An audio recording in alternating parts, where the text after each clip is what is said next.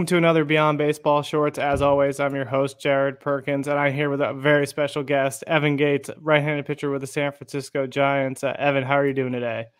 I'm doing great. I am excited to be on this. Um, I'm glad you guys reached out and just having having a great day. And this is this definitely a good nightcap for me right here.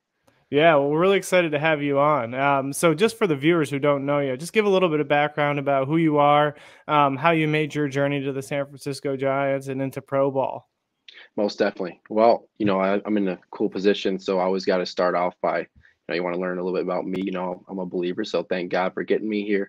Um, just thankful that you know I get to talk to people like you and be in clubhouses and playing stadiums across the nation. You know, definitely blessed with it opportunity and, and an ability to get there. So always, always praise to the Lord. So from there, man, I'll just say uh, a couple times I was asked this question this year too, because it feels kind of weird. I, I, felt like I was kind of like written off this past year, especially with the way my first year of pro ball went and coming from a small town and going to JUCO and just a small like division one.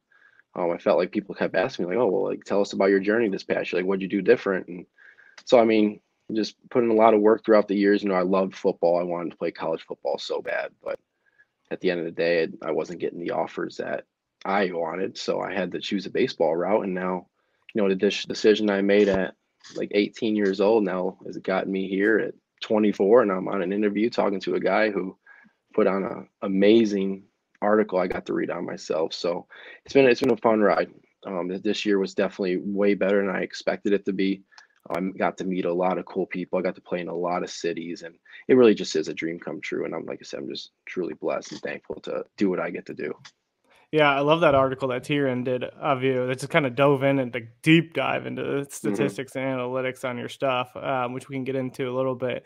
Um, but talk about coming from the small school aspect. So everybody's the one thing I love about baseball is everybody's kind of got a different journey to get there. You know, mm-hmm. you don't have to go to the big D1 school to make it in the major leagues. Um, talk about your path going to community college, the experiences that you had there, and what left you kind of choosing to North Carolina A and T. Yeah, so uh, you know, going going junior college, I I just fell in love with it because I had a bunch of friends that went junior college. They went to a couple bigger ones in the state, and they said they loved it and said, "Hey, it's a good opportunity for you to, you know, go play the game." And I mean, let's just be real. Like financially, it was perfect. I mean, I'm getting yeah pretty much free schooling and not paying a boatload of money for the first two years at least. So got the JUCO, but I think what really taught me there was it's just a grind anyone yeah. that's been through the JUCO life or anyone that you've probably interviewed has said the same thing. Like it is not easy.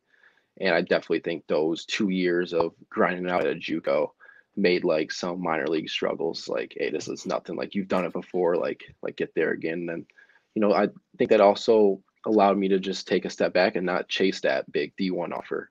Um, obviously everyone wants to play D1 because that's mm-hmm. where the, the best ability is at in college baseball and where most guys get picked up. But you know, even small ones are super competitive. Like we, I got to face uh, a couple teammates, you know, in the Giants organization that were NC State, and we always competed with them or North Carolinas. So, um, it checked all the boxes I was looking for out of junior college to go there, and like I said, it, it worked out because I got to go there for three years, got my degree pretty much paid for in, in full, and again got to meet a bunch of great guys and play in some big games and have a lot of fun. And ultimately, that was just you know another step for me to get where I'm at today and, and play pro ball. So I think it definitely helped going through a smaller school so I don't have that big expectation of like, oh, I want to get to the big lights and all that thing. No, I just yeah. want to play ball. You know, I just want to have fun and just play for to play with the boys and, and win as many games as possible.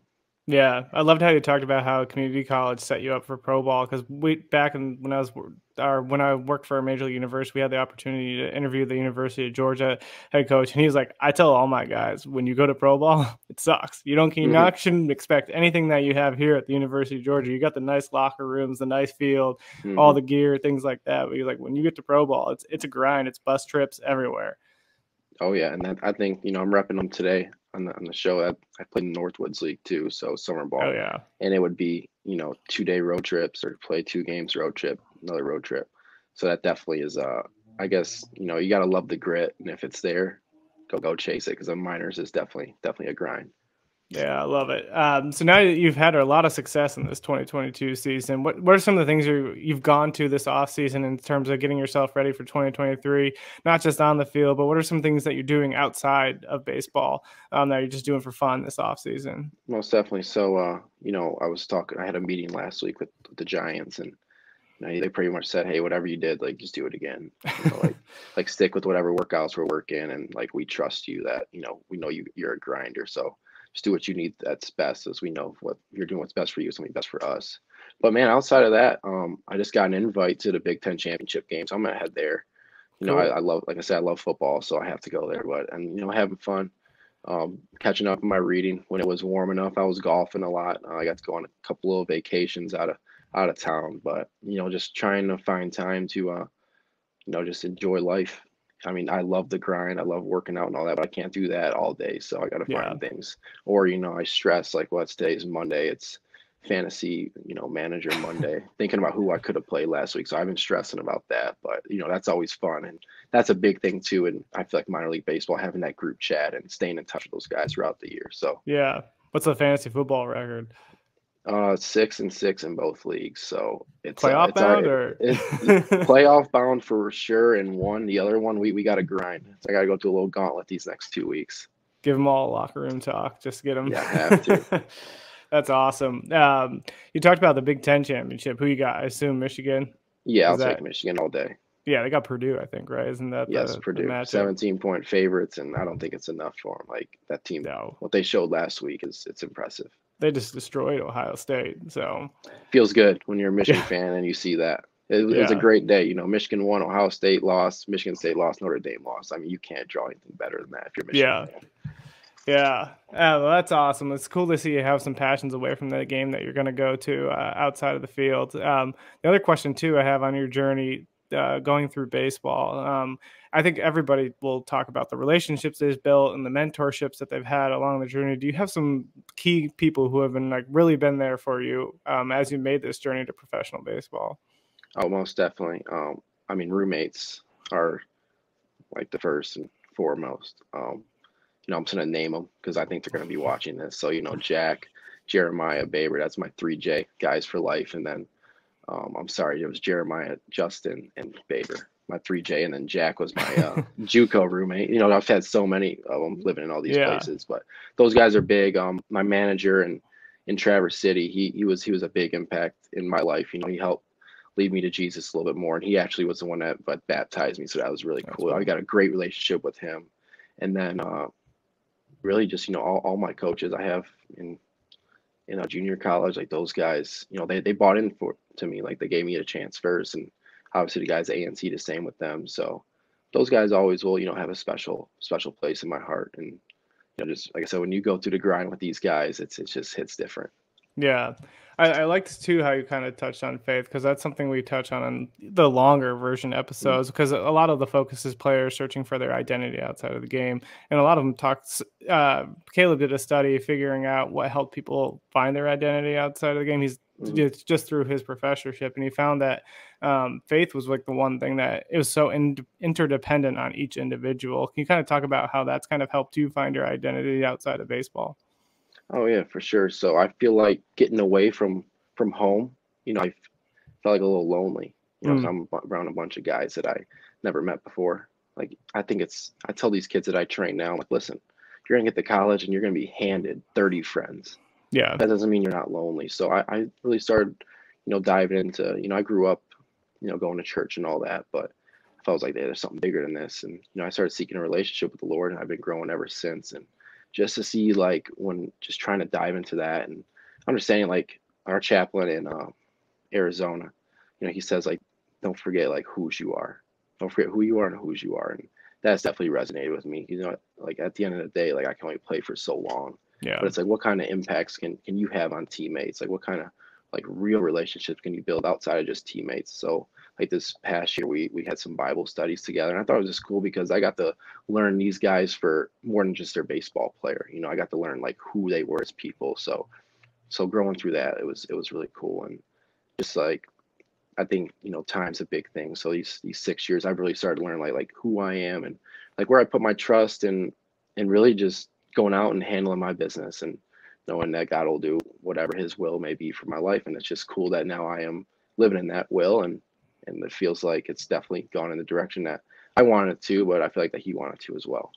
Yeah, I mean, I think that's awesome. And the one thing that you really touched on that stuck out to me is you touched on how it's helped you build relationships. And when we interviewed Jacob Turner, uh, he touched on he's like the one thing I learned from baseball um, was the importance of relationships. He goes because the game's going to go away, but the the relationships you build with people, he goes, those are going to last forever. And he goes, it's not about your status. It doesn't matter how far you make it in the league. He goes, those race relationships are still going to be there. Most definitely. I think there's also like, you know, one more key relationship that I forgot to actually touch on when you asked. And, you know, I, I wanted to get signed in 2020, the COVID year. Mm-hmm. I thought I was going to, and I didn't. And I happened to get signed in 21. And, and I'm glad I did because, you know, I met my girlfriend in 21 mm. when I was out in Arizona. Yeah. And like, that's one huge relationship part that if it wasn't for baseball, you know, I wouldn't, I don't know if I would ever met her, you know. So everything's working out the way it's supposed to. So I that's have awesome. to shout her out because I forgot that's that's my number one one in the relationship part. Yeah, I love it. I love it. Uh, just so diving into the last couple of questions here, I guess the one thing I'm always asking guys, what's the go-to restaurant as soon as you get home in the off season that you got to hit up every time? Thank you for asking that. It's definitely Coney Island. Mm. Coney Island all day. Does they know it ain't the same? You can find Coney's in other places and yeah, in America maybe, but nothing beats it back at home. That's awesome. And what do they have? I'm assuming hot dogs, right? Just yeah, they do the chili yeah. dogs and all that. But I just go there for the breakfast because they got the, the big breakfast special. Or if you go for lunch, they got these Hanis that are amazing. So love it, love it. Um, so the last question I always wrap up with, um, as we we want this show to be awesome for viewers uh, to get the behind the scenes look between for uh, fans, but we also want it to be a way to teach and help uh, the future generation of like athletes making it to pro ball. So if you had like one piece of advice um, for any guy that's trying to come from the high school level, the community college level, and just trying to make their way in baseball, but also kind of find their identity outside of the game, what would that be? I love that that question because it's something that I uh, know, I train kids during the week, and mm. I tell them this. I tell them this often, and I think it it's kind of because this is kind of what I went through with my journey. And it was just like, don't give up, you know, because yeah. I could have, you know, my first year at JUCO didn't go so well, but I was like, no, like I want to be good, so I grinded. Sometimes in college ball didn't go well. Just felt like I kept pursuing something that maybe others would look at like, dude, this guy's crazy. Like he's not gonna, he's not really gonna make it. Like he's not that good. And but in my heart, I knew I'm like, hey, like just keep going, just keep yeah. working. The grind never cheats you, and that, that's what I tell them. Like the grind will never cheat you. If you put in the time, you put in the effort, and you truly care, like you will find ways to to make it happen, and and people rely on you too. So that's that's that's my uh, advice to all those kids. Like, hey, don't ever stop grinding, and even if you gave it your all and you don't reach to the highest level, like it's okay to be a good college pitcher. Yeah, it's okay if you you know because that's going to carry over now into other things in life. And then ultimately, like we hope that it turns in or carries over to you being a good man, you know, being a good family man and and leading something in, in that direction. So always yeah. just got to keep going. I love that because you can tell that you're grounded in things outside of the game. Because if you have that mindset of just to keep going and just focusing on where you're at and just being okay with where you're at, like whether that's getting to the college level or that's making it to the next level, and just keep pursuing it, like you're going to find success and you're going to be able to find those next steps to move forward. Um, so I think that's awesome. Most definitely, and when, like I said, when failure comes too, like it's it's supposed to come. Yeah, just stuff ain't easy. Life ain't easy. Baseball ain't easy. I don't care what you do. It nothing's easy. So it allows yeah. you to just you know handle that adversity and use it to build you. I guess that's my other tidbit of event or advice. Don't let the adversity break you. Let it build you yeah. I love that. I think that's a good one to end on. And Evan, we can't thank you enough for joining us. You're an awesome guy. Uh, we're wishing you nothing but success in 2023 and can't wait to see you out there again. Thank you very much for for having me and letting me share a little bit on myself too. I appreciate you guys.